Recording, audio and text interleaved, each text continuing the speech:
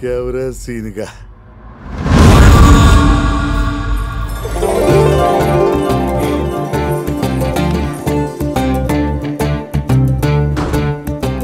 సంజయ్ ఈ ఇంటికి నేను శృతి కోసం వచ్చాను. ఎప్పుడైతే ఇద్దరం వాటర్ టబ్లో పడ్డామో అప్పుడే నేను నీ ప్రేమలో పడ్డాను. నువ్వంటే నాకు ప్రాణం. నువ్వు లేకపోతే నేను బతకలేను. అలాగని సీనుగడి చేతులు ఊడిపోయి అసలు బతకలేడు ఎందుకంటే నీకు లవ్ మ్యారేజ్ అంబిషన్. నాకు వాడి మీద రివెంజ్ అంబిషన్. నేను గెలవాలంటే నీకు సీనునే కావాలని మీ నాన్నతో చెప్పు. అదేంది? అవును సంజ సీనుగాడు ఖచ్చితంగా నేను పెళ్ళి చేసుకోడు. పెళ్ళి పీటల మీద వాడే బయటపడతాడు. అప్పుడు మీ నాన్న వాడిని చితక బాధితే చూడాలన్నది నా కోరిక. ఇది జరగకపోతే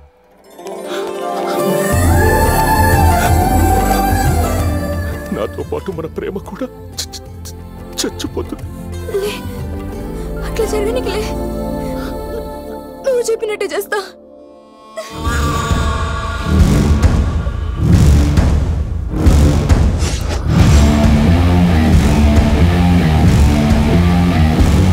ఏంట్రా? నిన్ను టచ్ చేస్తే నా లైఫ్ స్టోరీ టర్న్ అయిపోతుందా? చూసావా? నన్ను నువ్వు టచ్ చేయకుండానే నీ లైఫ్ స్టోరీని ఎలా టర్న్ చేశాను? పొద్దున్నే పెళ్ళి కదా పోయి బొబ్బు బొబ్బు బొబ్బు.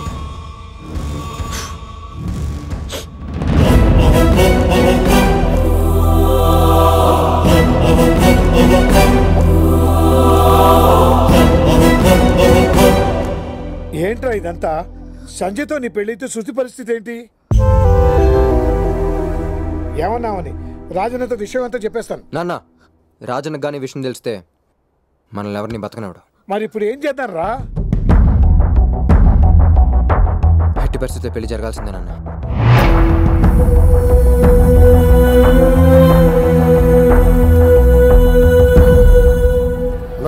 మస్తు ప్లాన్ చేసినావనా నమస్తే అన్న. అంత డల్లు కొడుతున్నావే బావా. మనం ఇద్దరం వియ్యంకులం హుషారుండు.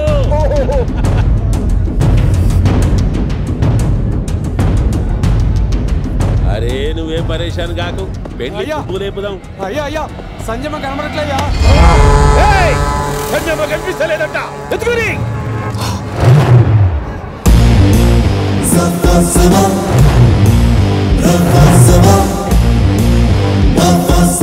శృతి ఎక్కడుందో చూడండి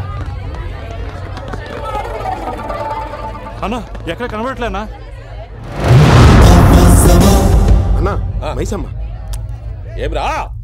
రాజన్న నీ బిడ్డ పెళ్ళి చేస్తావా? ఎలా చేస్తావు? దా ఇక్కడ చేద్దాం.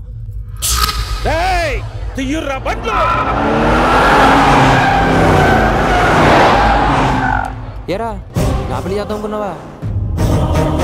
రాజన్న శత్రు మైసమ్మ గారిని గెలికా ఆడితో సంధ్యతో పాటు శృతిని కూడా కిడ్నాప్ చేయించా శృతి నీదా నాదా అనేది అక్కడ తెలుసుకున్నాం. ఆ? బళ్ళు తీయమంటున్నాడు రా